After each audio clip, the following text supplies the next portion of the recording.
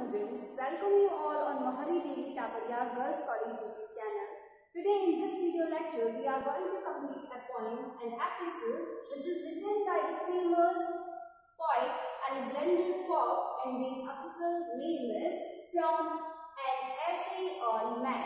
So, Alexander Pope जो है सबसे पहले हम उनके बारे में जान लेते हैं इनका टाइम पीरियड है 1688 से 1774 तक ओके सो एलेक्जेंडर पोप हम सभी लिटरेचर के स्टूडेंट्स के साथ साथ एलेक्जेंडर पोप को तो सभी जानते हैं क्योंकि ये फ़ेमस इनके जो फ़ेमस स्पॉट्स है वो भी हमें पढ़ने को मिलते हैं। सो so, जो एलेक्जेंडर पोप है वो एटीन सेंचुरी के इंग्लिश पॉइंट और फ़ेमस सेटलिस्ट है। ओके साथ ही साथ ये ऑगस्टन एज और क्लासिकल एज से भी बिलोंग करते हैं। सो so, इन्हें रेस्टोरेशन जो एज है, उनके मास्टर ऑफ़ राइट कपल भी कहा जाता है। तो इनकी जो पॉइंट है from an essay on man ये फोर एपिटाइल्स में सॉरी एपिसोड्स में डिवाइडेड है। सबसे पहले हम जान लेते हैं कि एपिसोड होता क्या है। ये जो पॉइंट है, वो एक राइट कपलेट है।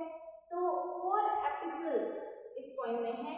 तो हमारे सिलेबस में इसका सेकंड एपिसोड लगा हुआ है। आज हम जब पढ़ेंगे, वो होगा अपना सेकंड एपिसोड सो एपिसोड का मतलब होता है episode is a literary work which is written in form of a letter episode एक लिटरेरी वर्क होता है, जो किस फॉर्म में रिटर्न किया जाता है लेटर के फॉर्म में रिटर्न किया जाता है।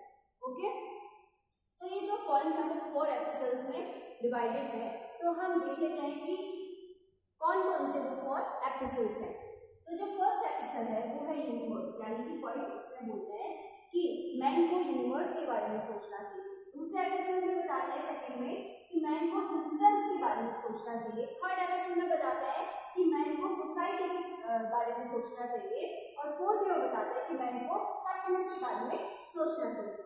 सो जो इस पॉइंट की थीम है, यानी अपने ही वाले में ये लगा है सेकंड एपिसोड ओके अपने एपिसोड लगा है और आज हम सेकंड एपिसोड को ही कंप्लीट करेंगे। तो जो सेकंड एपिसोड है, उसकी जो थीम है, वो है study about not about God यानी कि जो सेल्फ लव है। ठीक है? जो सेल्फ लव है, उसके बारे में हमें पॉइंट बताएँगे कि सेल्फ लव कितना ज़्यादा ज़रूरी है और किसी भी चीज़ से। So here self love reasons और ह्यूमन नेचर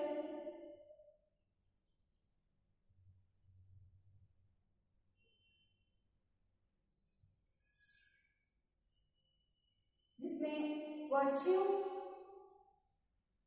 और वाइफ दोनों शामिल है. यानी कि वर्च्यू का मतलब होता है दोष सॉरी गुण और वाइफ का मतलब होता है दोष. यानी गुण, दोष क्या होता है ह्यूमन नेचर के यानी कि इंसान को खुद पे फोकस करना चाहिए, खुद के बारे में सोचना चाहिए. ठीक है, सबसे पहले. तो आप इसे नोट डाउन कर लीजिए. सारी काम की बातें जो एपिसोड वो पब्लिश हुआ था हुआ था सेवनटीन थर्टी फोर में तो ये भी आप नोट डाउन कर लीजिए।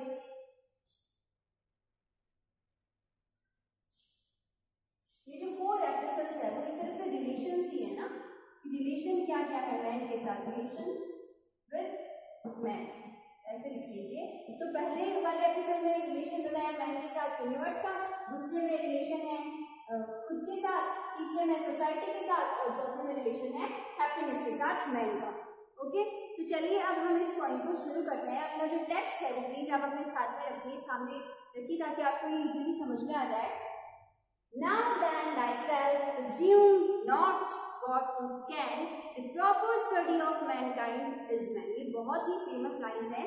ये जो टू लाइंस है वो कोटेशन में भी चलती है।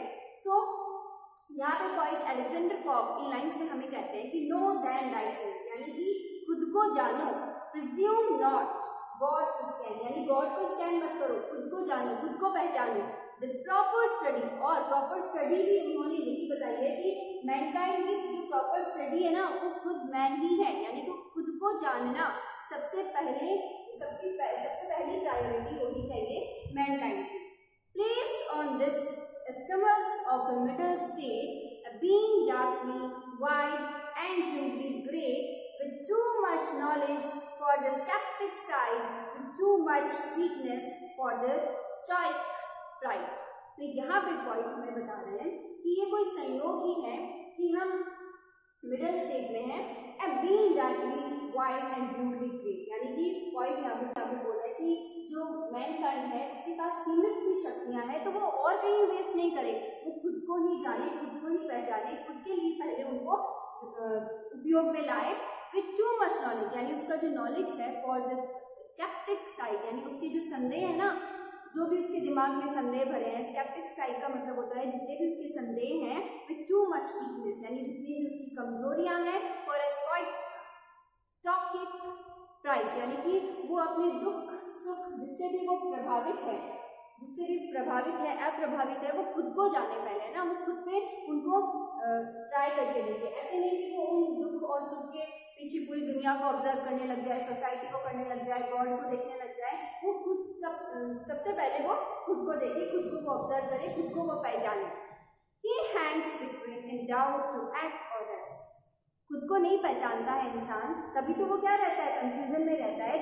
यही बात यहाँ पे हमें पॉइंट कर रहे हैं कि ही हैंग्स वो लटक जाता है किनके बीच में? इन डाउट टू एक्ट और रेस्ट यानी कि वो एक्ट करे या रेस्ट करे, इनके बीच में वो कंफ्यूज हो जाता है। इसके कारण, इसी चीज़ के कारण कि वो खुद को ऑब्ज़र्व नहीं करता पहले, वो ऑब्ज़र्व करता है इस दुनिया को। तो पॉइंट हमें यही बता रहे कि खुद को पहले ऑब्ज़र्व करे mankind in doubt to deem deem का मतलब होता है मानना हिमसेल्फ गॉड और यानी खुद की वो सोल को पहचाने अपने शरीर से भी पहले वो खुद की सोल को priority they.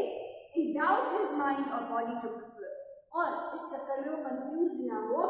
Born, but to die, and bristling but to act यानी कि जन्म हुआ है मरने के लिए, और गलतियाँ होती है सुधारने के लिए। ठीक है? अलाइक इन इग्नोरेंस जैसे अज्ञानता को दूर करने के लिए।